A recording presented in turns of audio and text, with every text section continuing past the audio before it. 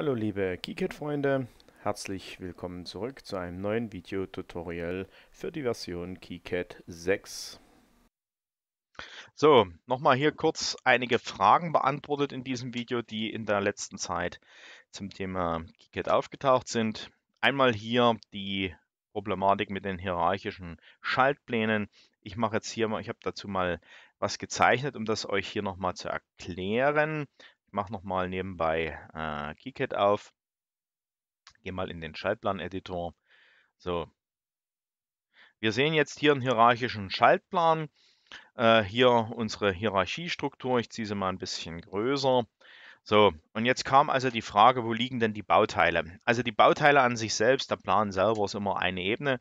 Nur hier die einzelnen Seiten, die ich jetzt hier erstellt habe, die sind natürlich in einer Hierarchie ähm, aufgehängt. Das hat einfach was mit der Ordnungsstruktur zu tun. Wenn ihr jetzt persönlich zeichnen würdet, fangt ihr ja auch mit einem Hauptschaltplan an und habt dann eben Teilschaltpläne, die äh, sich dann, die dann quasi hinten angeheftet sind. So, was ist, macht jetzt wann Sinn?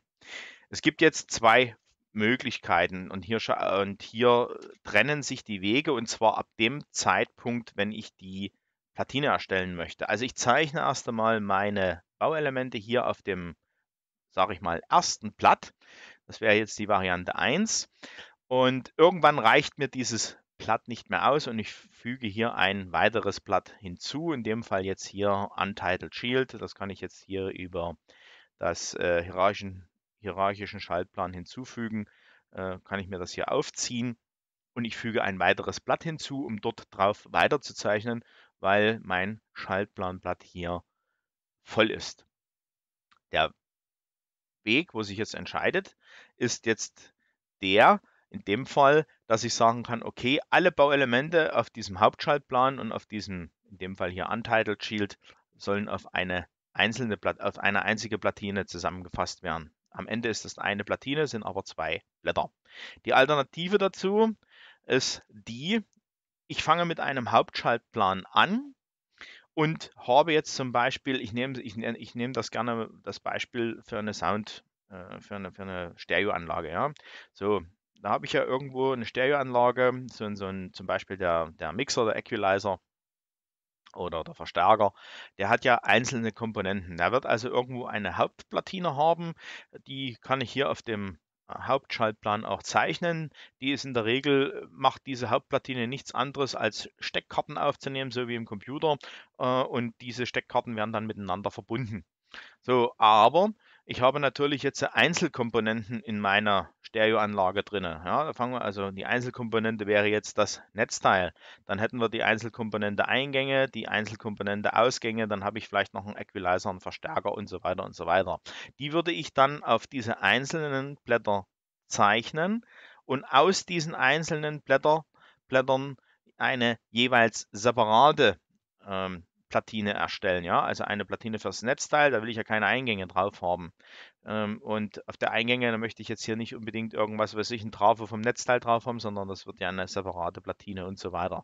Also hier scheiden sich dann die Wege. Einmal einen hierarchischen Schaltplan, der am Ende auf eine einzige Platine kommt oder ein hierarchischer Schaltplan, der am Ende auf mehrere Platinen verteilt wird. Dann immer wieder gern gefragt, die Thematik ähm, hierarchische und globale Label, die ich ja dazu benutzen muss. So, ich zeige es jetzt mal hier. Ich habe jetzt das einfach hier auf dem Blatt. Das wären jetzt meine einzelnen Blätter. Hier haben wir das Schaltplanblatt 1 und wir haben hier das Schaltplanblatt 2 und 3. Hier sehen wir es nochmal ein bisschen besser. Und wir sehen jetzt hier schon den Unterschied zwischen den äh, hierarchischen und den globalen Labeln hier drüben rechts rot. Ja, Hierarchische Label, ihr seht das hier schon. Schön 2x, 1x und wenn ich hier wieder zurückgehe auf meine erste Seite, dann kann ich hier mit 1x weitermachen zu der Schaltung. Äh, und ich kann meine Leiterbahn sauber verfolgen und ich weiß also, was ich wo angeschlossen habe. Das ist auch die, die Variante, die ich euch empfehle, so vorzugehen mit diesen hierarchischen Labeln. Ihr könnt in dem Falle sehr wahrscheinlich nicht vergessen, irgendetwas irgendwo äh, anzuschließen oder falsch anzuschließen höhere Sicherheit. Das ist der Hintergrund.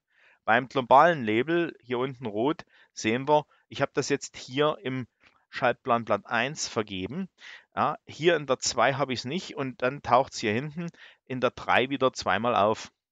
Oder sogar dreimal jetzt. Ich habe es hier nur nicht angeschlossen, um mir die Zeichnerei zu sparen.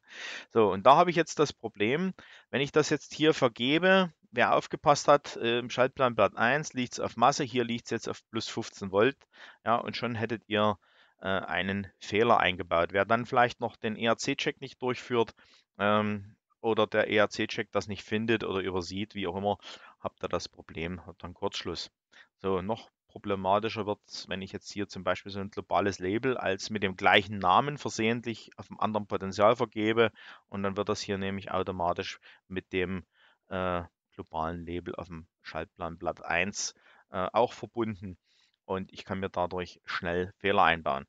Globale Label machen schon zum gewissen Grad Sinn, nutzt sie aber sehr, sehr sparsam, drei, vier Stück, vielleicht fünf, okay, aber bitte nicht hier 30 oder 40 Stück, sondern arbeitet in dem Fall wirklich mit diesen hierarchischen Labeln. Die könnt ihr sauber, schön sauber über eure Schaltplanblätter verfolgen, was eben hier bei den globalen Labels nicht äh, der Fall ist. Ich müsste jetzt jedes Mal wieder zurückgehen in den Hauptschaltplan und da schauen, wo habe ich denn den Namen vergeben, wo habe ich es angeschlossen und äh, dann wieder zurück in, die, in den Schaltplanblatt 3, wie hier dargestellt, und da nochmal prüfen, ob ich es da wieder richtig drin habe. Also äh, meine Empfehlung ist, das nicht unbedingt. So, das dazu. Und dann war noch eine Frage zum Thema FreeCAD. Dann machen wir mal hier FreeCAD auf. Und zwar ging es um die Thematik, eine äh, Platine in ein Gehäuse zu importieren und dann an, in diesem Gehäuse drin die Ausschnitte zu machen für die Konnektoren. Ich mache hier mal äh, ein neues Blatt auf. Ich spreche das jetzt nur theoretisch durch, weil ich das, äh, weil mir das zu viel Arbeit ist, das müsste ich jetzt alles konstruieren und euch dann zeigen. Ähm, ihr installiert euch als erstes über den Add-on Manager die A2 Plus Workbench, wer das noch nicht gemacht hat. Schaut euch dazu im YouTube ein Video an, A2 Plus Workbench plus FreeCAD eingeben, dann kommt ihr da auf einige Videos, äh, die ihr dafür braucht, wie man das, diese Workbench benutzt. Dann konstruiert ihr euer Gehäuse. Eure Platine konstruiert ihr natürlich ebenfalls über die ähm, über die über, über, über das KeyCAD. So, anschließend geht ihr hier ins FreeCAD, importiert über die A2 Plus Workbench das Gehäuse, was ihr gezeichnet habt hier im FreeCAD und die Platine importiert ihr hier über das KeyCAD Step-Up Workbench. Wenn ihr diese beiden äh, Dateien dann drin habt oder beide Dateien erzeugt habt, startet ihr die A2 Plus Workbench, importiert beide Dateien da hinein und positioniert die Platine im Gehäuse. Wechselt dann in die Part Design Workbench und führt hier hinten eine boolsche Operation, nämlich das Schneiden von zwei Formen aus und äh, es werden dann die Überdeckungen, also das, was überdeckt wird, wird dann entsprechend äh, ausgeschnitten und somit habt ihr die Durchbrüche in eurem Gehäuse äh, erzeugt und könnt dann aus dem Gehäuse äh, die, äh, die 3D-Druckdateien erzeugen und das Gehäuse drucken. Soweit erstmal theoretisch dazu durchgesprochen. Wie gesagt, mir fehlt im Moment die Zeit, das jetzt hier alles zu konstruieren und euch das hier live in einem Video zu zeigen. Ähm, das ist aber die Lösung hier dann die Boolsche Operation Schneiden durchführen.